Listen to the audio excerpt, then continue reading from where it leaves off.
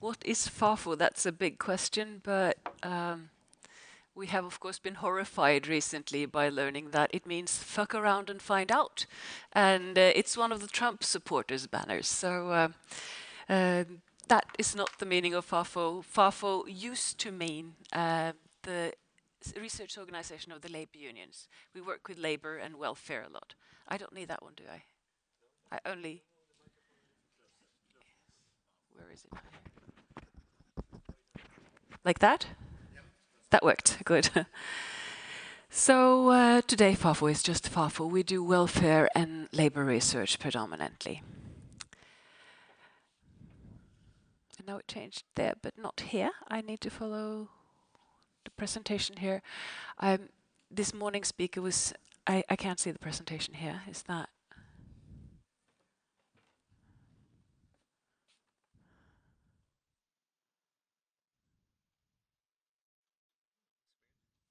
Maybe if you do it full screen here too.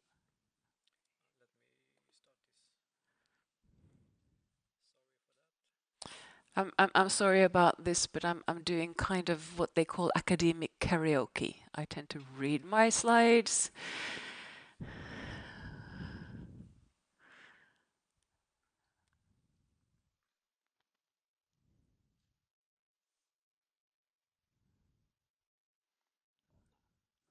That looks better. So uh, what is uh, tjenesten or meg, the services and me? Uh, it's a large research project, a social science research project that was granted 12 million Norwegian crowns, which is considerable, six years ago, as part of an effort from the Norwegian Research Council to invest in ME research. Three other proposals were uh, in medicine, and one was supposed to be in social science, and we were very lucky to get that together with our partners at the Institute of SINTEF. So the mandate for the study was to map user experiences with public health and welfare services and the interventions they encompassed.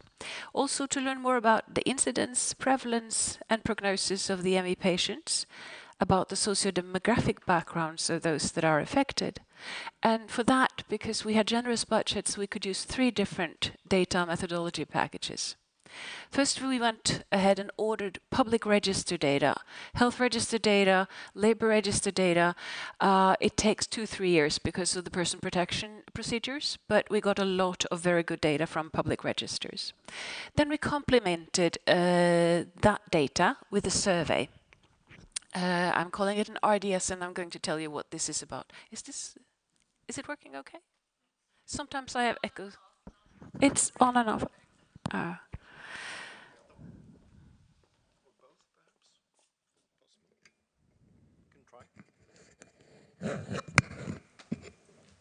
Let's try both. Um, finally, or actually initially, we started doing in-depth interviews in families where someone were affected by ME across the Norwegian country, followed that up with focus group interviews with the family members of the most severely ill patients who could not participate in other parts of the project.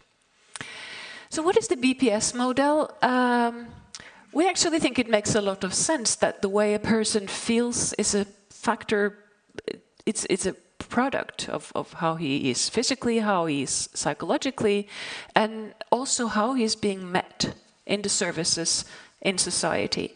So we are suggesting an alternative BPS model, in fact, and the focus of our study is when these patients are meeting the public services, do they feel that they're being acknowledged? That they receive care, that the verdicts that are made in the public services are legitimate. Are they shown respect? And how does that translate into how they're being met in society? Are they met with acknowledgement there, with respect, compassion, understanding? We think that these two fields reflect each other. This illustration was made for us based on this principle by Cornelia, who is has been recently severely ill by ME. She is recently out of Røysumtunet. Uh, and the illustration shows the ME patient, all the physical symptoms, and then someone tossing in extra burden in the form of non recognition, institutionalized uncare, the authorized imposition of illegitimate verdicts, and a general feeling of condescension. In a recent review, uh, CFS ME patients under the National Public Work Programme or Public Work Assessment Allowance Programme, AAP, uh, concluded that the health and welfare systems lacked the knowledge about who would respond well to the various alternatives they had to offer ME patients. So the research question I will address here is how do the people who are affected with ME experience the most common interventions and services that are offered to them but also imposed on them during the diagnostic process and during this labor assessment allowance program? and which is the period that leads towards a decision on whether or not they should get disability uh, pensions or not. Secondly, does it make sense to distinguish between groups of fatigue patients concerning the relevance of services and interventions? And in particular here, we wanted to compare the patients that met the Canadian consensus criteria for ME to those who only met the Fukuda criteria for the diagnosis. And importantly, we wanted to assess the separate impact of the PEM score on the experiences with services and interventions. For that, we used survey data that we collected. A part of that survey was the DePaul Symptoms Questionnaire, the entire SF36, and we used algorithms, validated algorithms developed by Leonard Jason and DePaul to address whether or not it's likely that a patient meets the Canadian consensus criteria or the Fukuda criteria alone. Uh, I'm presenting today from a publication that came in April from Journal of Health Psychology. I have some copies with me that I don't want to carry back to Oslo, so please come to me afterwards if anyone wants a copy.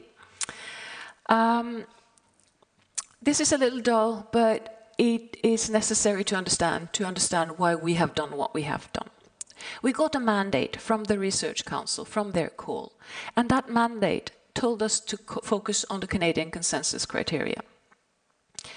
Now, we do have data on G93.3 in our register data sample, but we also know that some people who don't meet the Canadian consensus criteria also get that diagnosis, and that some people who don't, um, uh, some people who do meet the criteria get the diagnosis very late. We also think there is a social dimension to who gets it early and who gets it late. So, how do we go about? We know diagnoses take time. Some never get diagnosed. And that leaves us with few available sampling frames for a survey.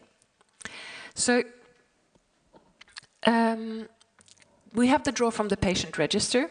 We could even get a draw of respondents from the patient registers and, and send them surveys. Respondent rates to this type of approach is rapidly falling, and we don't control the bias from that. We could do an open online survey. Um, we know that would attract bias from those who are most online active uh, in certain segments. Um, we could go through the patient association, but the way the debate has developed, uh, we wanted to try and find an alternative not to be accused for ideological biases or whatever is uh, the argument uh, for that. So that means we have a target group without a clear sampling frame, and that the available sampling frames have biases that we do not control. And we resort to a sampling method called respondent-driven sampling that is developed especially for populations without clear sampling frames. Uh, respondent-driven sampling uses network uh, recruitment. That means that one patient will recruit the next patient and so on. And that way we do reduce the free access of anyone who would like to respond. In addition to this, uh, it, we increased the response rates by people who wouldn't normally respond, but when encouraged by someone they know, will do it out of a social commitment to that person. RDS is a complicated algorithm-based mathematical system. It's, it's, not, um, it's not very discretionary. Most, most of what is done in RDS is algorithm decided. What we can do with RDS is that we can monitor when the distribution of responses to certain key questions have stabilized in a way that it makes it meaningless to keep adding participants. I will show you an example on how that's done. It also enables us to monitor the clustering of certain features in patients. If some patients really only recruits people that are similar to themselves, uh, we will know. And the system will weigh down. They will use estimators to reduce the impact of the responses of people who uh, only recruit people who are similar to themselves. Also, we have ways to address whether or not a person is very likely to be recruited by mapping the social networks of that person. If you have a large social network in the target group, you will be, the estimators will give your answers less uh, weight. If we get to someone with very few recruitment probabilities, their um, answers will weigh the more. Again, not up to our discretionary power, this is done by the RDS system. So when we had these data, on fatigue patients, we cast the net wild. Um, we wanted fatigue patients who uh, were too sick to work or study full time. That's where we drew the line.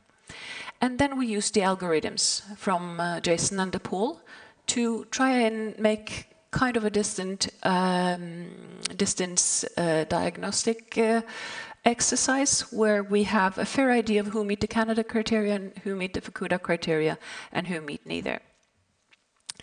We know from these algorithms that the sensitivity is good and specificity is uh, moderate. That means that in the is, is I get a lot of strange echo. How is the sound to you?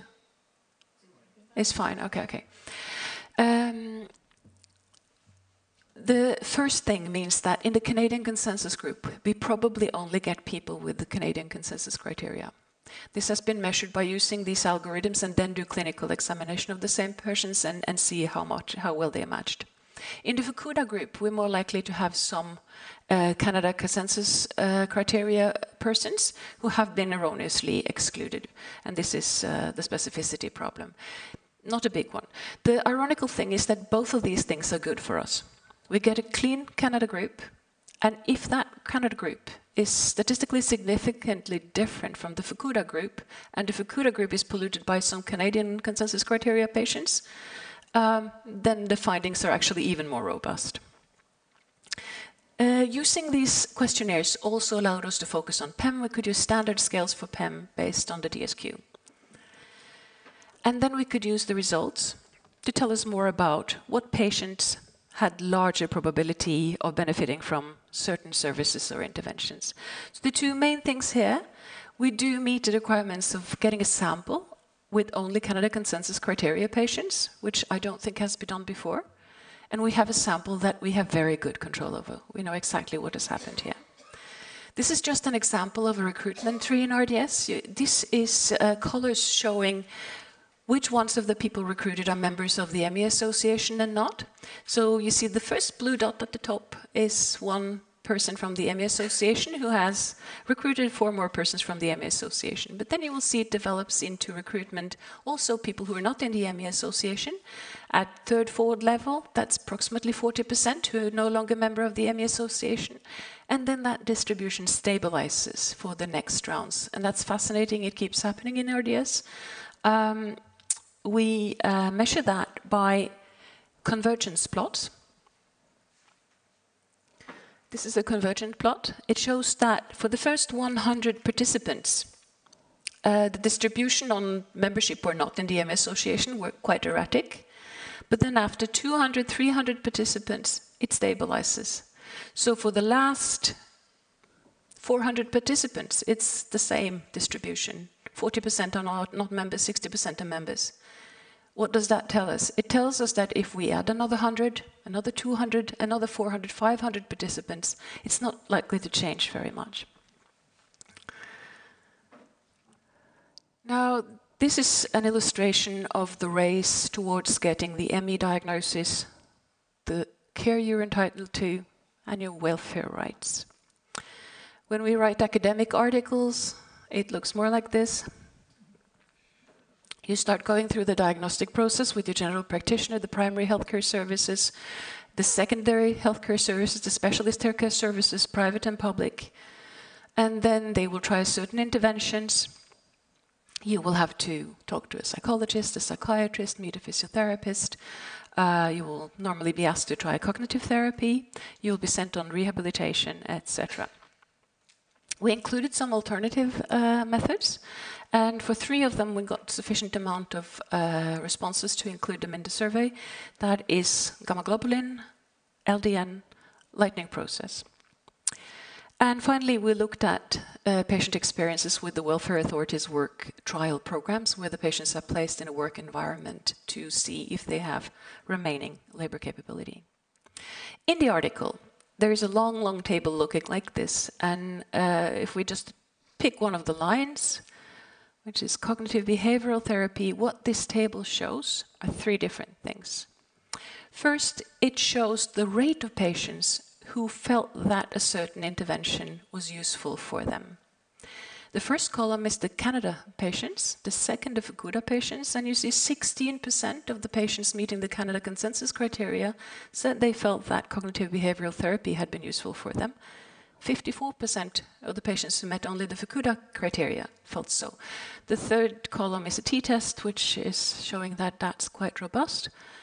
Then I'm showing the mean satisfaction rates that goes from plus two to minus two. Plus two, they very much agree this was useful. Minus two, they very much disagree that was useful. And finally, you see the effect of the PEM score. And if you follow that right column, you see that PEM is decisive to the benefit of almost any service and intervention that we examined. The table is long. Now, this graph is the overall scores of the Canadian consensus criteria patients, how they did experience uh, the different services and interventions that we examined. And the overall picture is, of course, one of great dissatisfaction. Interesting, there has been talk about uh, gamma globulin and IVF, IVI, IVIV, or IVIF, yeah, I, yeah. Um, and this is actually what they are most satisfied with. They're also quite happy with the symptoms management training classes.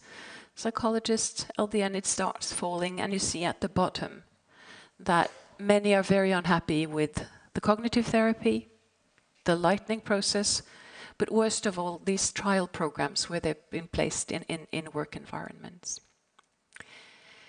We also wanted to know if they felt acknowledged by the services. So one thing is, okay, they maybe these things are not really helping them, but do they feel that they're well met?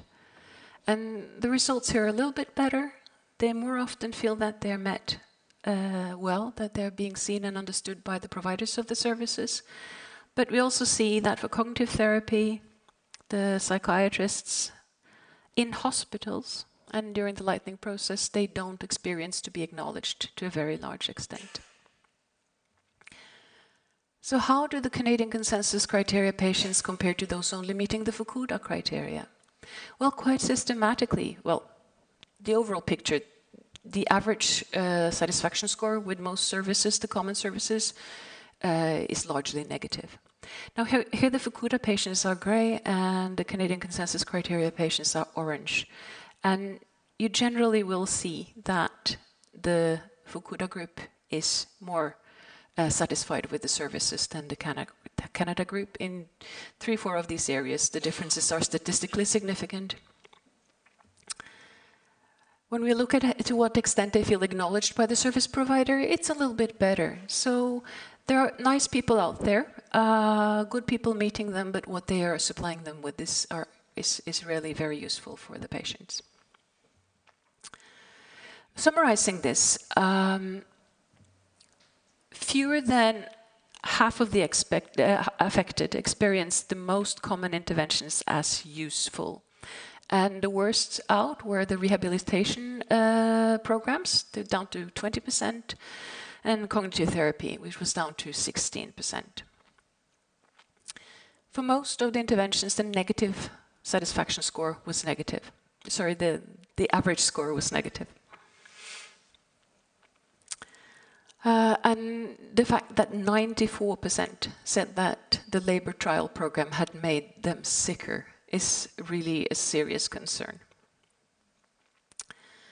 We see that the patients more often experience to be recognized than to benefit in their encounters with these interventions and service providers. But um, I think that at least for some of the services, there is quite some to be desired. The patient group that meets the Canadian consensus criteria has generally poorer experiences with these services and interventions than the group that only meets the Fukuda criteria. So yes, it seems like there's a meaningful distinction between the two. So the difference, for example, in the proportion of the Canada and the Fukuda patients who experienced benefit from cognitive behavioral therapy and rehabilitation was statistically significant, although the sample was not that large. When it comes to PEM, the degree of PEM seems to be very closely related to how these patients experience uh, services and also acknowledgement. And the effect of PEM on in predicting how a service will work for a patient is statistically significant almost all through. So the way we see it, the degree of PEM appears as a possible indicator for whether a person affected by ME will benefit from a service or not. There are two implications to this. We repeat from what has been said before today that when we see the negative average scores in benefits and interventions, we keep reminding ourselves that do no harm is the guiding principle of all help.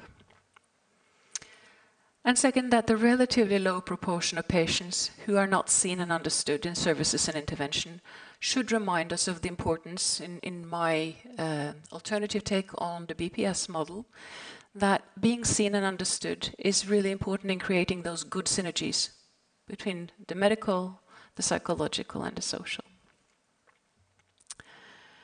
We have a website with a lot of material and, and um, and uh, webinars and presentations we've made. On that website, you will also find a summary report with big letters, easy to read, of the different parts of the project. I have a few copies in paper here that, again, I don't intend to carry back to Oslo. Um, and then I have tossed in a couple of extra slides listening to the other speakers. Nigel brought up what we call people with ME, ME, or uh, CFS. And this has been one of the principles I have been testing with journals in this process. So uh, in, in the article I have here, I say that we use the term ME, not CFS, ME. By that, we refer to the guideline for academic publication, which is the American Psychologist Association's guidelines, APA, 7th edition. APA writes, which is really what academics are obliged to follow.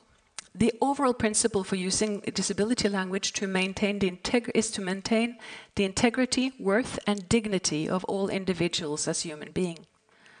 Language should be selected with the understanding that the expressed preference of people with disabilities regarding identification supersedes matters of style. If you are unsure of what approach to use, seek guidance from the nearest self advocacy group. If you work with people, ask them. So that's what we did.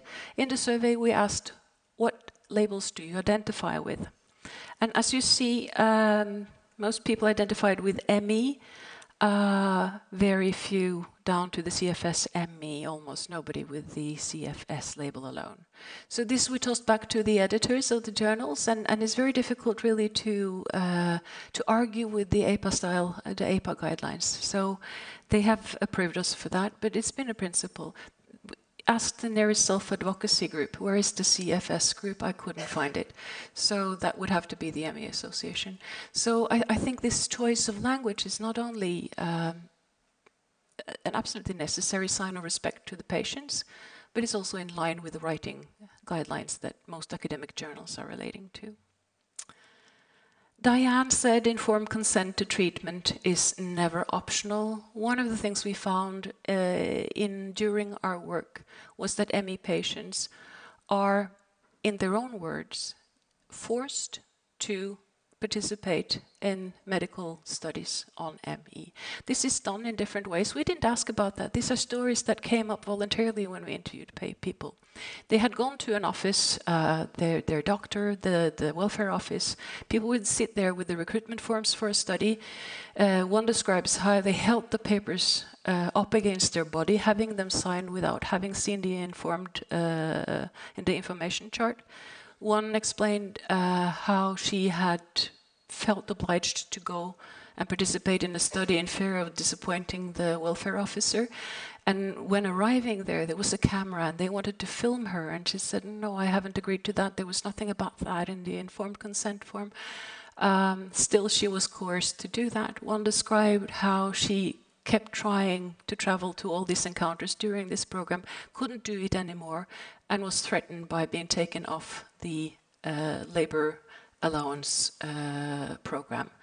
So um, I also debated uh, two members of the National Ethics Committees for Medicine uh, at Norwegian TV about this, um, because this way is uh, absolutely unacceptable in science. Voluntarily informed uh, consent in research participation as well as in treatment is not optional.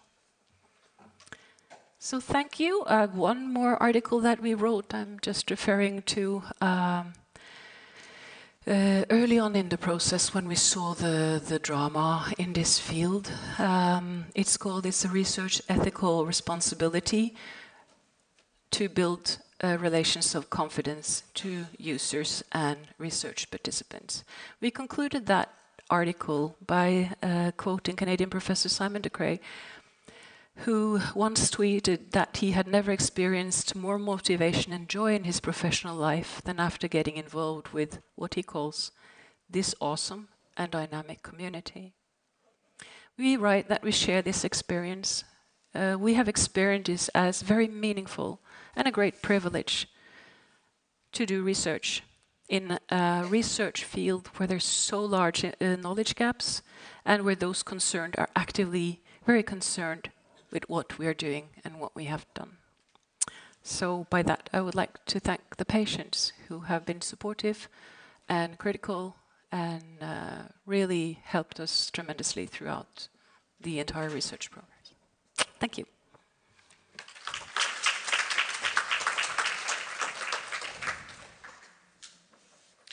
Thank you so much, Dr. Kielland. Um, do we have any questions or comments right away. Otherwise, we will uh, gather the speakers for the panel discussion in just a minute. Nothing urgent, as it seems. Okay, so we'll save the questions or comments for for the panel uh, discussion. Just one comment about the lack of informed consent. Uh, I mean, uh, and not not for generalizing, so to say, but but in Norway to see that uh, that was really appalling, I must say. So. Yep. Yeah. Okay. And I, I heard even worse cases from Denmark recently, actually, that okay. that people are forced to uh, put their children in research programs, and if yes. not, they can take away their child benefits. Okay. That's not possible in, in no. Norway, but but the way the public sector are intervening in recruitment to research studies when they have this type, or they can even threaten with the child protection authorities. Uh, the public sector should not be involved in recruitment of research participants. It, it makes no sense. It's, it's very risky. Yeah. Yes. Okay. So thank you again, and